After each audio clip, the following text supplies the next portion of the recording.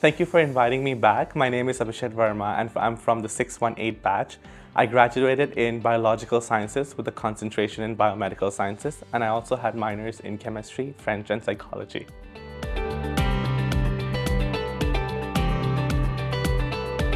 Well, my motivation in medicine did not occur just from one incident. There were many incidents that triggered my spark and interest in medicine it, I have to say it's a cumulative um, triggering processes, right from an initial interest in science to an early exposure to volunteering and getting in, talking with people and patients from my own community uh, sparked my interest in medicine overall.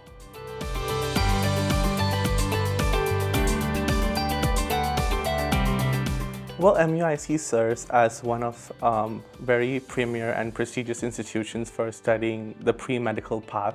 Uh, it really resonates with the pathways that occur in the US, for example, the pre-medical medical track, in Australia, for example, where they follow this track. So MUIC has majors, let's say major in biological sciences or even chemistry. These kinds of majors really give you a head start into medicine. You get to take courses like genetics, microbiology, um, biochemistry, cell biology, and all these courses really prepare you to get an advancing edge when you get into medical school.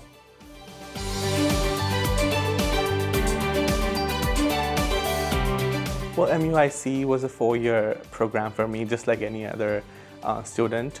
However, at MUIC, I thought I got to take a lot of classes that really helped me build up to where I am today starting with our first year where you get to take basic biological science courses in biology, chemistry, physics, and courses that might prepare you for your future examinations.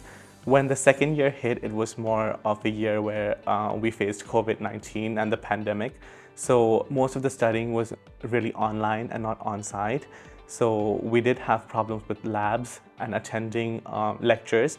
However, it it also gave us an extra edge as in we now have become a generation where we know how we can learn through technology, where we can make use of the internet and make the best of us. So it might not just be MUIC, but the entire situation that has built up to this moment.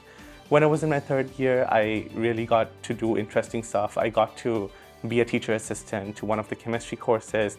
I get to work with uh, the Faculty of Social Science in uh, research in epidemiology. I got to even go to exchanges to Wisconsin and Victoria, which was, which was a really great experience for me in general overall, yeah.